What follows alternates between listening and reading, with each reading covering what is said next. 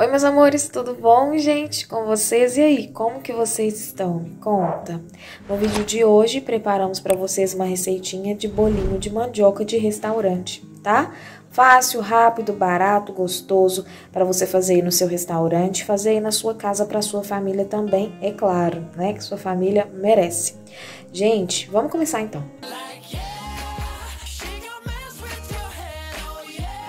Ó, aqui eu já cozinhei a mandioca, né, para adiantar o vídeo, para ser bem rapidinho, mas para quem tem alguma dúvida, vou deixar aqui no final algum vídeo ensinando vocês a cozinhar e vou falar também bem rapidinho, tá bom? Escolhe uma mandioca é, bem novinha, tá? Descasca, lava, aí você pica em cubos, pode ser a mandioca branca ou a mandioca amarela da sua preferência. Aqui tem 600 gramas de mandioca, eu pesei ela depois que eu já tinha descascado, tá? E aí eu coloquei para cozinhar com um litro de água e uma colher de sopa de sal. Aí a água já estava fervendo, tampei a panela, pegou pressão rapidinho. E aí ficou mais ou menos uns 10 minutinhos depois que pegou pressão, tá bom? Aí eu desliguei, deixei a pressão sair naturalmente, porque se derretesse não tinha problema, né? Porque eu ia amassar a mandioca. E prontinho, é só isso mesmo, não tem segredo não. Importante você tirar aquele pavio que tem no meio da mandioca, aquelas linhas, sabe? Aquilo ali é legal você tirar. Escorri e pronto. Agora a mandioca tá aqui prontinha e a gente vai amassar ela. Minha mãe que tá ali, gente, do outro lado e vai amassar, tá bom? A mandioca já foi cozida com sal. Se você esquecer de colocar o sal na hora de cozinhar, ou você colocar e depois achar que não foi o suficiente, você pode colocar um pouquinho de caldo de galinha ou até mesmo um outro tempero da sua preferência. Como aqui eu já coloquei o sal, a quantidade de água certinha, não vai ser necessário, tá bom? Eu colocar mais tempero, só aquele que eu coloquei na hora de cozinhar mesmo. Então, vou colocar aqui na mandioca uma cebola pequena, roxa, triturada, tá? Em pedacinhos. É, um pouquinho de cheiro verde, cebolinha, se tiver salsinha também pode colocar que fica bom. 25 gramas, é meio pacotinho de queijo parmesão. Queijo parmesão, ele ajuda na consistência, no sabor também, no tempero, né? E um ovo inteiro com gema e clara. E aí eu vou misturar e vou colocar um pouquinho de farinha de rosca, tá bom? Acho que umas duas colheres de sopa aqui já vai ser suficiente para o nosso bolinho ficar bem durinho. Eu vou rechear ele com queijo, queijo mussarela picado em cubos grandes, olha só o queijo ali. E aí a gente vai empanar. Como que empana? Só passa na farinha de rosca e coloca no óleo lá tá bom? Não precisa de passar no leite, nem no ovo, nem nada, que o bolinho ele tá bem firme, tá bom? Não é necessário. Se você for fazer na airfry, Bruna, não gosto de fazer bolinho frito no óleo. Como que eu faço? Aí você vai precisar de um pouquinho a mais de queijo parmesão e você não vai misturar ele no meio da sua da sua mandioca não. Você vai reservar ele para você empanar. Aí você faz os bolinhos, recheia, empana com queijo parmesão, fica maravilhoso, gente e leva para airfry, tá? Aí fica douradinho, crocante. Mas geralmente no restaurante não tem airfry. Então os bolinhos são fritos mesmo no óleo, né? Como eu tô ensinando para vocês a forma como a gente às vezes fazia no restaurante, então eu vou fazer igualzinho. Então amassou toda a mandioca, olha só, com um garfinho, tá? Nós vamos colocar os outros ingredientes então. 25 gramas de queijo parmesão, a cebola roxa triturada, o ovo inteiro com gema clara e o cheiro verde e as duas colheres de sopa da farinha de rosca.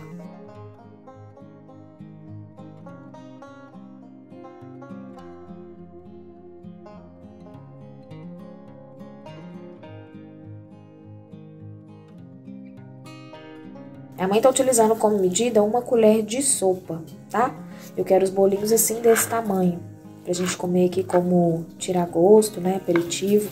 Você pode fazer menorzinho também, ou até mesmo bem grandão, como se fosse um salgado, né? Fica gostoso. Pega uma medida de colher de sopa, faz uma bolinha, a mão da minha mãe tá untada com azeite, viu? E aí coloca, ó, o queijo, aperta, faz a bolinha de novo. Ah, Bruna, pode ralar o queijo e misturar na mandioca? Poder até pode, mas aí corre o risco de estourar na gordura, sabe? Na airfry. Indico vocês a rechear. E só o queijo parmesão que você mistura, tá bom? E aí passa ali na farinha de rosca e depois é só fritar. No óleo quente, limpo, tá bom? Como a mandioca já tá cozida, não tem nenhum ingrediente cru ali, é bem rapidinho, não corre o risco, sabe? De você fazer aquele bolinho que fica cru por dentro. todo mundo tem muito medo às vezes, né? Mas é legal você fritar numa temperatura bacana para o queijo de dentro derreter. Mas se a temperatura estiver muito alta, aí vai começar a estourar e o queijo vai começar a sair para fora, né? O queijo não resiste a grandes temperaturas. Aí você vai fritando e vai vendo, tá bom? Tá com muita dúvida, Bruno, eu tenho muita dúvida, não sei se fritou por dentro, se ficou quentinho. Frita um, come, faz o teste, tá bom? E aí, se estiver bom, você continua fritando. Vocês têm que entender também que se você colocar muito de uma vez para fritar, a temperatura do óleo vai cair, tá bom? Então tem que colocar aos poucos, tá bom? Mas precisa ser muito pouquinho também não, você não pode colocar tudo de uma vez, um em cima do outro, sabe? Tem que ter um espacinho de um bolinho pro outro para ele poder fritar com calma e não explodir.